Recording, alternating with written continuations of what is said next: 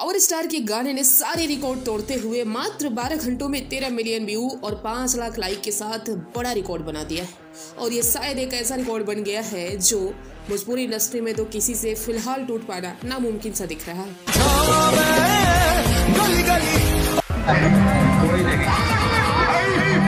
वैसे power star के इस प्रोग्रेस के साथ पूरी भोजपुरी इंडस्ट्री खुश है। पूरी भोजपुरी इंडस्ट्री उनके सपोर्ट में है। उनके दुश्मन और उनके जो विरोधी भी एक समय में थे, वो भी आज उनको खुल के सपोर्ट कर रहे हैं। बस फ़िलहाल कुछ एक लोगों को छोड़ दे तो आप देखेंगे कि इंस्टाग्राम पे पवन सिंह ने जो वीडियो शेयर किया है, उनके नीचे कमेंट्स की लाइन लग चुकी है।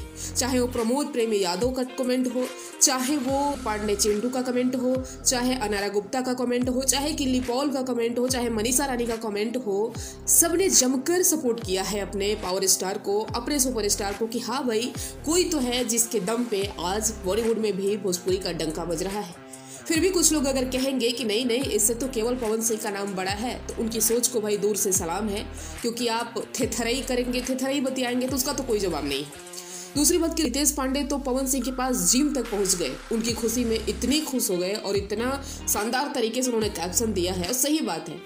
आम्रपाली दुबे ने रील्स भी बना दिया। ये लिख कर कि I can't means power star hook system ये सब चीज़ें देखने के बाद सच में दिल को सुकून मिल रहा है कि भाई बादशाह तो है। जब तक पवन सिंह है, पूरी इंडिया झूमेगी भाई, पावर स्टार के दम पर। आप देख रहे हैं, जो टी सीरीज़ की पंजाबी कंपनी ने सकते हैं कि पवन सिंह बॉलीवुड पे रूल करने वाला है मीन शासन करने वाला है। तो कब्जा तो जम रहा है। मुझे तो लग रहा है कि बॉलीवुड वाले भी कहीं टेंशन में ना पड़ जाए कि अरे हमने किस, किसको आजमा लिया? भाई, क्या पावर है? क्या जलवा है? एक गाने के लिए फैंस ऐसे पागल हो सकते हैं, पवन सिंह। ऐसा क्रेज है पावर स्टार के लिए तो मूवी आने वाली है तो उसके लिए क्या होगा?